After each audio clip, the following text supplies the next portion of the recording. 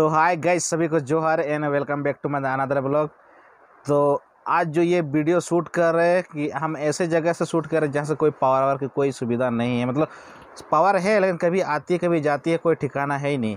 तो इसलिए ये वीडियो ऐसे शूट करें क्योंकि ये सबके लिए इम्पोर्टेंट इन्फॉर्मेशन है। इनको अभी तक नहीं पता चला है और जिनको पता चल गया है वो तो ठीक ही अल, अलग बात है। तो एक्चुअली ऐसे हुआ कि टाटा स्टील का जो रिज़ल्ट वो आ चुकी है और एक्चुअली टाटा स्टील तो अपना रिज़ल्ट तो साइट में डिक्लेयर नहीं करती है।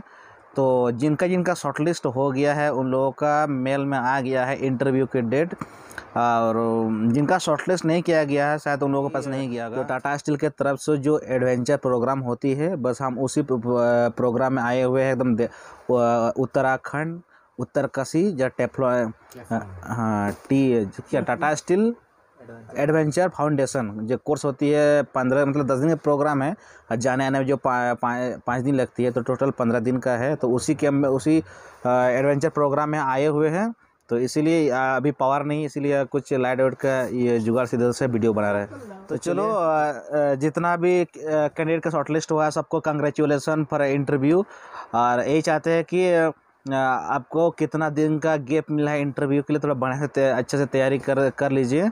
और मैक्सिमम जो जो प्लान से कहीं काम किया तो मतलब अगर मान लो आप अपना एक्सपीरियंस दिखाना चाहते हैं कि हम यहाँ का काम किए हैं तो वो आप चीज़ बहुत बढ़िया से जानकारी का कि आप क्या काम किए हैं।